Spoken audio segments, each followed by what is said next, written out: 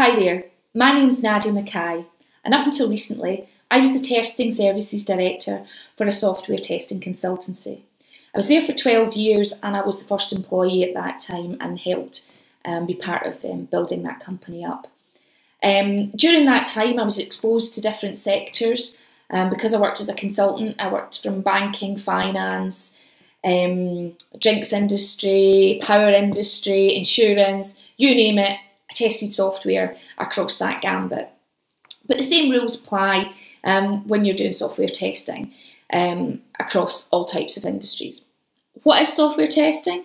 It's basically a part of a development life cycle which is critical in ensuring that the software that's going to be delivered to the end customer, whether it's internal or ex external, is fit for purpose. It's safe, it's secure, it's of a high quality, it does what the customer expects. So part of a software tester's job is to run the tests on developers' code, for example, um, to the point of speaking to the end customer and asking them what is it you're going to do with this software and make sure it works the way in which they want. There's loads to it. You take things into considering um, consideration such as risk, massive part of it, um, because actually by testing software you're mitigating the risk of something going going wrong with it. You never find every bug. Don't let anyone tell you that, but you want to find the ones that are going to cause issues for your business. It's been a really exciting um, journey for me. I never started off in software testing. In fact, I wasn't in any way um, IT um, literate. Back in the day when I left school, um, or when I was in fifth and sixth year doing my Highers and things, I was kind of pushed into doing languages because um, my mum's Italian. Um, wasn't particularly good at Italian, wasn't particularly good at languages, full stop. Um, so I went to Napier um, University as it is now. I don't. I think it changed to polytechnic while I was there. Very good university. Um, I've had engagement with them since that. Um, but at the time, I was doing languages um, with secretarial studies. Believe it or not. now I didn't really know about computing or computers. Um, that was back in the very late 80s. Um, but there was, they had sort of introduced um, an additional subject that we could do. Um, and it was about learning about payroll and it was computerised. And it was actually an optional subject. And I just decided, oh, I'll give that a go. Quite fancy trying that. And I absolutely loved it. I didn't really know where that would lead to, but it was always in the back of my mind that that was something I enjoyed. When I left um, um, Napier, a friend of mine was working for a pension fund reporting company and they were looking to take on people who were had finished um, graduated from either college or university and they also took school leavers as well um, just to train them up. Um, and you know I needed a job and wanted a job and I went there and uh, they were so ahead of themselves um, as an organisation um, I loved doing the analysis on the on the pension funds um, learning about the stock market and everything. Um, and I was one of those people who just wanted to consist, can, you know, do more. Where can I go and help someone? And, and I was always asking. Um, so when it came to they were doing um, a migration from the old mainframe, if you may or you probably haven't ever heard of that, um, they are still out there, um, but um, it was it was completely different uh, language. It was something called COBOL um, that it was it, it, it was uh, coded in, and you know you, you actually went and and these women punch did punch cards. I don't know if you've ever seen old videos um, of all these big computers and rooms. That's what it was like. Um, but they were migrating all that to a relational database. Uh, which is what a lot of systems are built upon, all your cloud-based systems and things now um, at that time. And because I was, um, I knew a lot about the business, because um, I had been nosy, as I say, and um, put myself forward, they asked me if I wanted to do something called user acceptance testing, uh, which is an area of software testing. And it's the test people, the, the people who are already in that department, usually programmers and developers, basically taught, taught me about the technical side of things, whereas I taught them about the business side and how you'd be using that system. Um, and the, the, original intention was I'd go back to the business, but I never actually did. Um, and from then on in, um, I work, I I moved into testing and I did, there are specific exams and things that you can do. Um, and so I became a professional tester, um, which was something by that point, by the mid 90s, um, and later in 2000, etc., it is a career choice that you can make. You will see software test analysts, quality assurance analysts, test engineers, um, these kind of roles being advertised now um, as, as a real job. And um, the way into it um, is no, there are different routes. So you can go to university and study computer science or a similar type degree.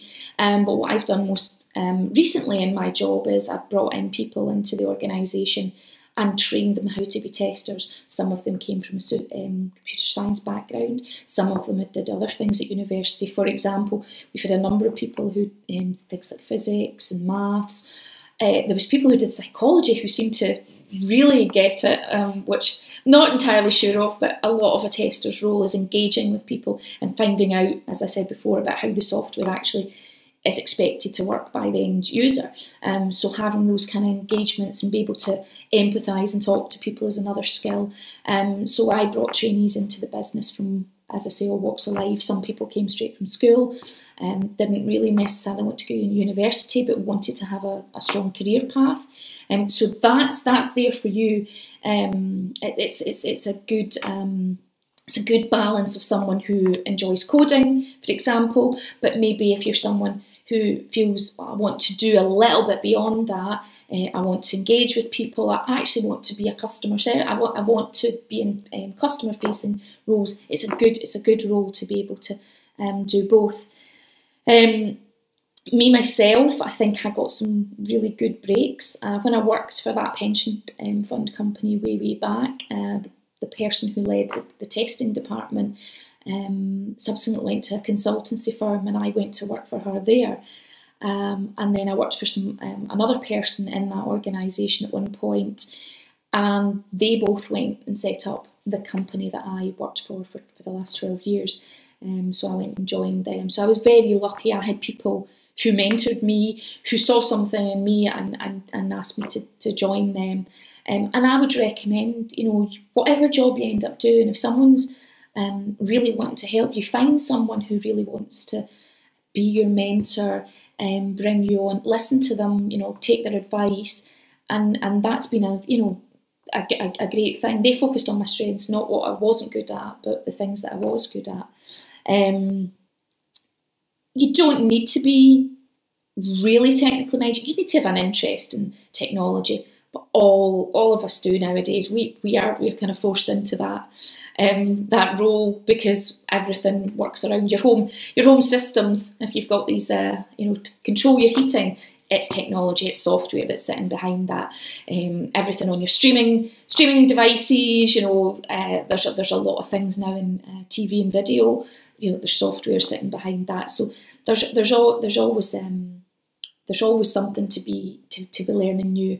I mean, I have worked in different as a consultant. I when I worked as a consultancies, our clients, you know, all varied as I said. So I have learned um, things about you know from when I worked for a drinks retailer, um, from the orcharding of an apple. That is actually part of the process. You actually put, you know, what orchard that's coming from uh, into the system, right to the point of that you know the cider being distributed to the various whether it's shops, whether it's pubs, and also the invoicing, um, you know, invoicing them and the payments coming back in. So you, you get to, as a software tester, you get to see um, lots of aspects of the life cycle of a business, um, and that's been the thing that that has driven me um, for all of these years. So my advice is, um, you know, don't change yourself. Look at the things that you're strong in. Um, don't pigeonhole yourself because, as I've said there, I didn't have an IT background. I hadn't tinkered with computers. Um, so even in it's just having having that drive uh, to innovate. And a lot of people in science technology they're constantly innovating. Um, and thinking about new ways of doing things, better ways of doing things. So if you're one of those people, uh, this could be the industry for you. Um, good luck with everything. Thank you. Bye.